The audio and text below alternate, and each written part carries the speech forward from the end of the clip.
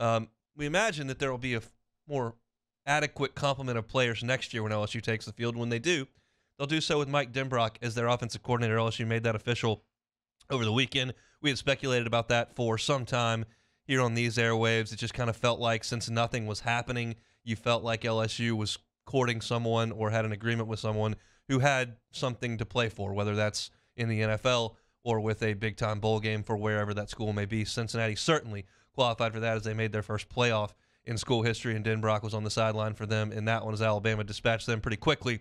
But Denbrock was announced immediately after that to be LSU's offensive coordinator. So we've kind of talked about Mike Denbrock's um, coaching career, his resume, a lot of it linked to Brian Kelly back to their days at Grand Valley State in the 80s, uh, certainly at Notre Dame very recently in the 2010s.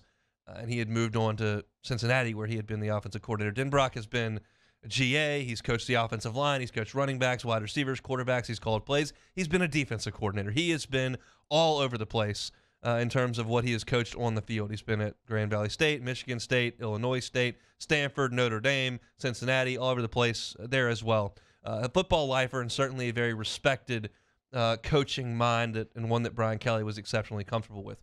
Now, what I noticed when I was looking through the resume and and going through what he had accomplished in his career is you see that he's brought on to Notre Dame. He coaches tight ends in 2010 and 11. Then he moves to wide receivers in 12 and 13. This is all under Brian Kelly. Then in 14, he becomes the offensive coordinator. Then in 15, he's the associate head coach and over at wide receivers and eventually leaves to be an offensive coordinator at Cincinnati. So my question is, why did Brian Kelly hire Mike Denbrock to be his offensive coordinator and then the next year he was relieved of those duties? What happened there? So I went and did a little bit of research and a little bit of digging. What happened, and it was actually after Notre Dame beat LSU in that Music City Bowl, where Fournette runs the, the kickoff back. You'll remember that game. Um, Denbrock was the offensive coordinator then, and after the 90, National Signing Day in February that followed, he was relieved of those duties, and they went and made a new hire. They hired Mike Sanford from Boise State. So I went and said, why? And this will probably sound very familiar to you if you're listening. Brian Kelly is quoted when Sanford is hired about replacing Denbrock and keeping him on staff as the wide receivers coach and associate head coach. Here's Kelly's quote Mike Denbrock and I had a long conversation about this. We agreed at the end that what we were looking for was somebody that could turn the room upside down. We didn't want someone to be equal. Does that sound familiar to you?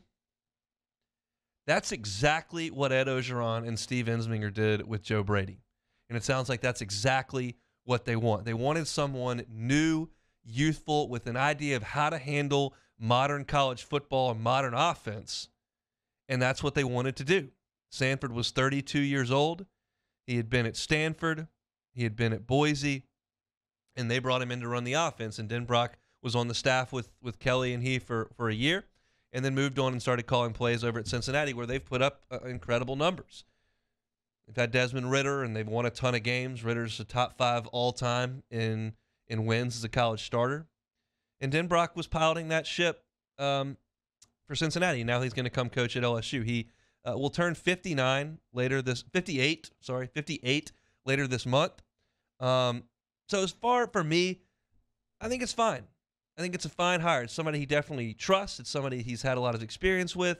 Um, it's a guy who has certainly run a spread up tempo offense at cincinnati not somebody out of the dark ages even though he's a little bit older than some of these younger minds that have been hired to run programs.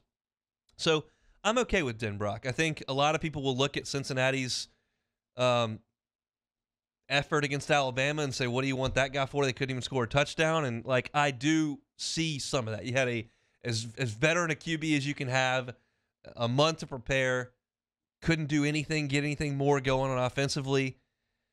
You are kind of running the Kentucky Derby with a mule.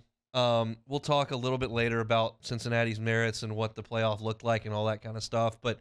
Um, you know, that one game doesn't drive me off a cliff. I wish it looked a little bit better, but they did spread the field. They did motion. They did try some things. They just it's tough to block Will Will uh, Will Anderson and and those guys with what Cincinnati's got. It's just not a fair fight. and it's not a fair fight most of the time when Alabama plays anybody. It'll be a fair fight next week on the 10th, but it's not most of the time, and it certainly wasn't with Alabama. It's just the nature of the beast. So I'm okay with the Denbrock hire. I, I welcome your thoughts in the Bayou Ford chat over on YouTube.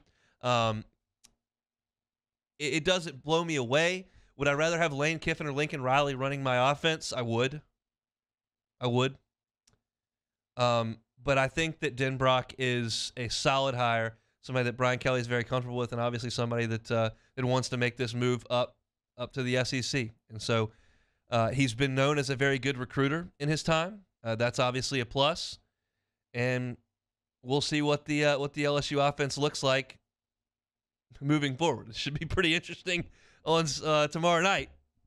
Potentially wide receiver taking snaps, but Mike Denbrock will be LSU's offensive coordinator when LSU takes the field against Florida State uh, next year. And I think Southern actually is the opener. I should probably know that as someone who works for the network, but off the top of my head, I do not. So um, that is uh, kind of our look at the Mike Denbrock hire. Just wanted to look at the, the circumstances as to why he was quote unquote replaced uh, with Brian Kelly at Notre Dame, and it seems like they just wanted a, a youthful, innovative mind. And now that Denbrock's been around him and done a little bit of that at, at Cincinnati, ready for this challenge. So away we go. Mike Denbrock, LSU offensive coordinator. Thanks so much for watching Hunt Hill on YouTube. Now do us a favor, hit the red subscribe button below and throw us a like. See you next time.